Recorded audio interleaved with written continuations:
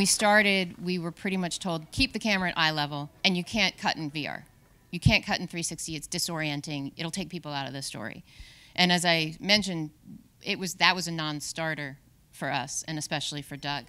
We started thinking about the area of focus and directing and cutting in the same way, I guess, of, of widescreen or cinemascope, where you know you try and cut and you try and create the story in long areas of focus of your space, so that if actors are moving or you want to watch the watch the scene, you want to be cognizant of, of, of keeping if you're following the focus here and most people are following here, you don't want the major action to happen over here because then they'll miss it. And it's less about missing it as the, that minute or that split second that you go, wait, where am I supposed to be looking? You're being taken out of the story, and that's the emotional break that everybody in this room, I'm sure, is aware of because it happens in no matter what you're cutting.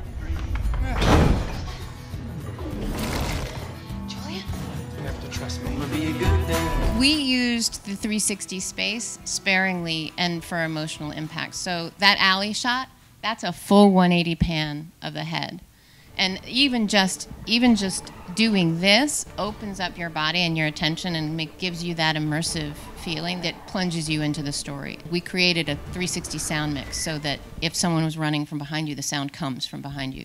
If they're running past, and and it and the mix changes also depending on where you look. We shot the fight with seven camera arrays. We were shooting with two jaunt cameras and then several GoPro rigs as well. All those had to be painted out when we were cutting, but we only had money for two takes for that fight.